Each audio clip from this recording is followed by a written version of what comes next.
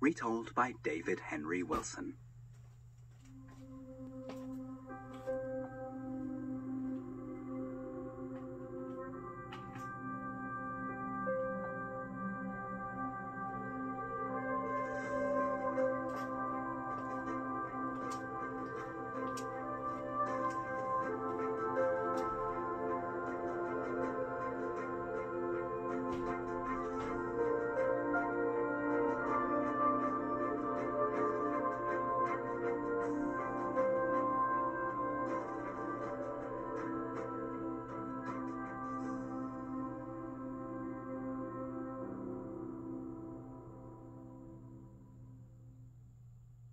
Daniel Defoe, Robinson Crusoe. Long ago, before there were any planes or trains or motor cars, the only way to travel across the world was by ship, and the ships in those days were driven by the wind. They were in constant danger from storms, which could turn the waves into hills and blow the ships onto the rocks and smash them to pieces. That was why Robinson Crusoe's father was very unhappy when his son told him that he wanted to go to sea. It's too dangerous, Robinson. Stay on land where it's safe and become a teacher or a doctor. But Robinson wouldn't listen, and when he was old enough, he left home and became a sailor. For a while it all went well, until one day, as his father had warned him, the ship he was sailing on ran into a terrible storm. The wind howled, and the thunder boomed, and the waves swooshed the ship up as high as a mountain and then hurled it back down again until finally there was a terrible crash as it was thrown onto sharp rocks. Abandon ship! cried the captain. And Robinson found himself with a few other men sitting in a lifeboat, trying to row away. But the sea that was battering the ship battered the boat as well, and another huge wave picked it up and hurled it down again deep into the water. All the men were thrown out, Robinson swam for his life. Fortune favoured him, and the wind and waves eventually carried him to a sandy shore, where he lay exhausted until the sun rose the next morning. By now the storm had finished, and the sun shone down on a scene of peace and calm. In the distance he could see the wrecked ship lying on the rocks, but there was no sign anywhere of survivors. Behind him were cliffs, and when he climbed to the top, he could see hills and forests, but again, no sign of life. He was alone on a desert island.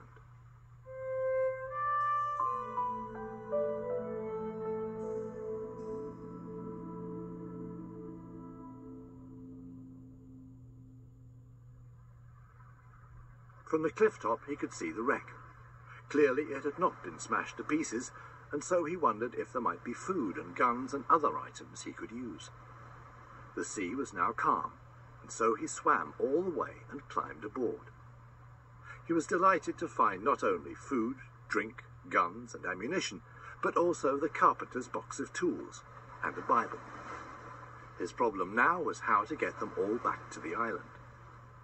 As the ship was made of wood, he chose several strong planks and tied them together with rope, some lengthways and some across, to form a raft.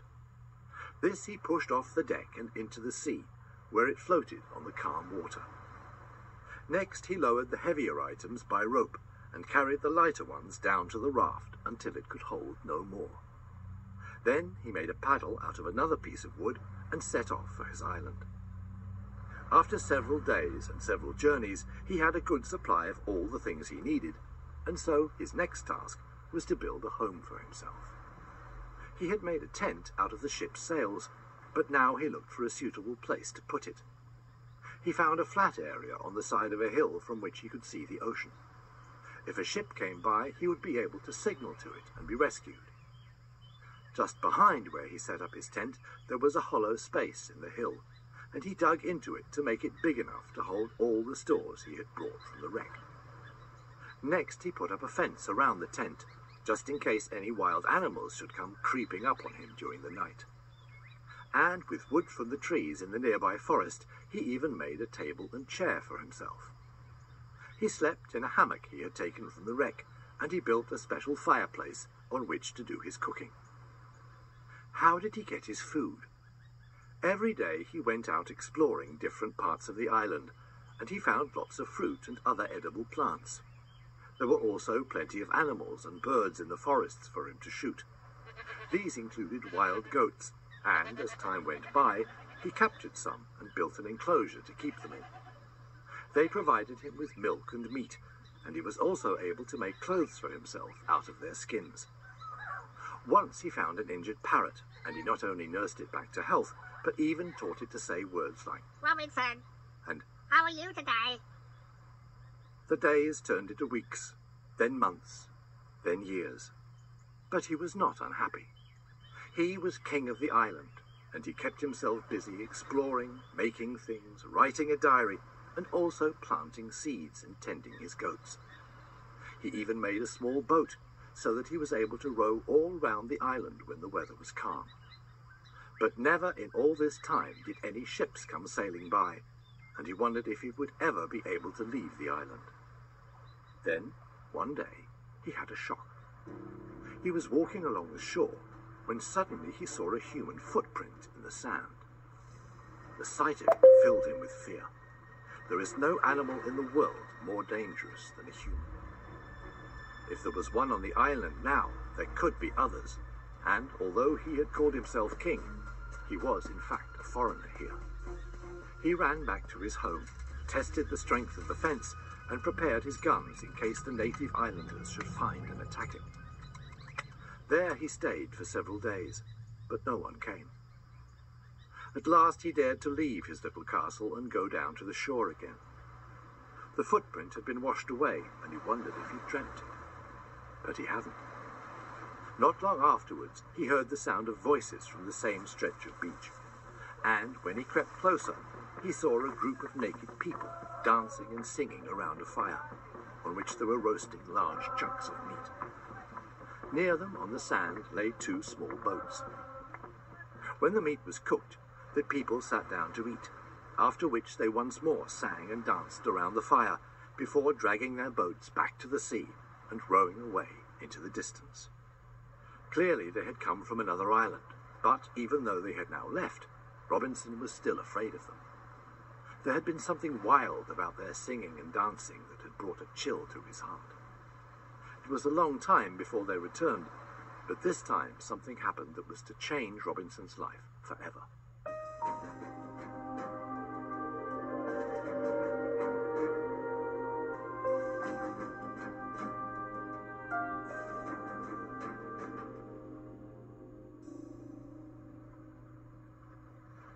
As the naked people gathered wood for their fire, Robinson noticed that two men were standing to one side. One of them stood with bowed head, while the other was upright and held a spear, as if he was guarding the first. Suddenly, the first man straightened up and hit the guard with such a hard blow that he fell to the ground, unconscious. Then the captive ran away from the rest of the group and towards Robinson's hiding place. Robinson had never seen a man run so fast. By the time the guard had recovered consciousness and raised the alarm, there was a huge distance between the pursuers and their escaped prisoner. Now Robinson realized that he himself was in danger and must escape before the pursuers arrived, and so he took a swift decision. As the prisoner approached his hiding place, he stood up to reveal himself. The prisoner stopped in his tracks with a terrified look in his eyes, but Robinson beckoned to him and spoke in a very calm voice. Come with me. I'll help you. There's no need to be afraid. Follow me. He beckoned again. The prisoner looked back at his pursuers, then at Robinson, and made the decision to follow the friendly looking stranger. Robinson knew the island so well that it was easy for him to elude the pursuers, and eventually they gave up the chase. Robinson took the prisoner back to the safety of his castle, and the young man knelt before him and kissed his feet, as if to say, I will serve you forever. He was a fine looking man with long black hair and sparkling brown eyes which shone with intelligence now that the fear was gone. When he spoke in his own language, no doubt to give thanks to the man who had saved him, his voice was strong and clear. Robinson knew at once that he had made the right decision, and so now he had a companion. He called him Friday, as that had been the day of the rescue. And as time went by, Friday not only learned to speak English, but also to use tools and guns for making things and hunting. He helped to milk the goats and plant seeds. And when Robinson read to him from the Bible, they talked about different gods and how life began. They also talked about England, and Friday swore that if ever they were rescued from the island, he would go there with Robinson. It was a happy time for both of them. One day Friday came running and shouting at the top of his voice, Master, master, big ship! Come see, big ship! Together they hurried to the cliff top, and sure enough, there was a tall ship standing motionless in the sea a couple of miles from the shore. Robinson could see at once that it was English, and the first thought that occurred to him was that perhaps at long last he would be able to leave the island and return home. Then Friday pointed at a speck that was moving across the water, and as it drew nearer, Robinson saw that it was a boat, heading towards the shore just a few hundred yards away. There were eleven men on it, but two of these were tied up. Are you countrymans? English? asked Friday. Robinson put his finger to his lips to indicate that they should keep quiet. The men were certainly English, but something made him afraid. Why were two of them tied up? And why would the ship have come here? They only went to places where goods could be bought and sold, and no one even knew that this island was inhabited. The prisoners were lifted out of the boat and carried into the shade of a palm tree. One of them must have said something, and a bearded sailor swore and struck him in the face. Then the rest of the sailors wandered off to explore the island. Quickly, Friday, while the sailors are gone, we must find out what's happened. They hurried towards the palm tree, and the eyes of the prisoners opened wide at the sight of them. They must have been a strange sight, too. The bearded Englishman dressed in goatskin, and the tall young islander behind him, both carrying guns and knives. Tell us quickly who you are and what's happened. The man who had been struck was evidently their leader. I'm the captain of the ship, and this is the mate, my second in command. There are villains among the crew, and they persuaded the others to mutiny, so that they could take all the treasure we have aboard. They wanted to kill us, but some of the crew persuaded them to leave us on the island instead. They didn't want murder on their conscience. Then listen, Captain. If we free you, will you promise to obey my commands at all times? Yes, indeed, sir, and we shall be forever in your debt. And if we recapture the ship, will you promise to take me and my companion back to England? Most gladly, sir, most gladly. Then come with us. Robinson swiftly cut the ropes that bound the prisoners and then led them to a hiding place to await the return of the sailors. As soon as they arrived, Robinson gave the order, and the four of them sprang out, guns and knives pointing straight at the mutineers. Surrender, or we will shoot you! shouted Robinson. All nine fell to their knees at once and begged for mercy. Then Robinson asked the captain which of them he thought could be trusted, because he knew that four men alone would not be able to recapture the ship. The captain chose five of the nine, and Robinson spoke to them. You have a choice. Either you promise to serve us faithfully, or we will shoot you.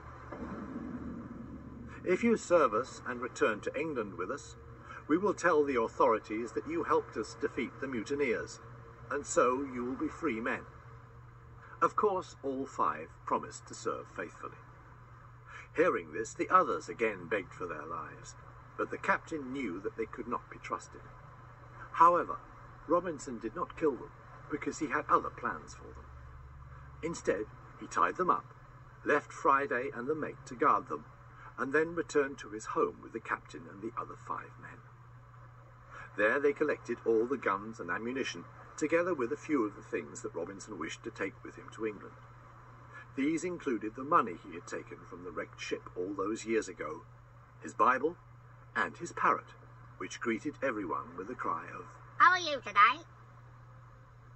By the time they got back to the shore, night had begun to fall. Robinson told the captain and mate to put on the uniforms of the captured sailors, and he did the same himself. But, despite his protests, Friday had to remain behind to guard the prisoners, because there was no way he could be taken for an ordinary sailor. Robinson had to reassure him. We shall be back Friday, never fear, and you will come to England with me. Then Robinson, the captain, the mate, and the five honest sailors climbed into the boat and rowed towards the big ship. Is that you, Will? cried a voice from above as they drew near. It was the watchman, and by the light of the moon and stars, all he could see was the boat and the eight sailors.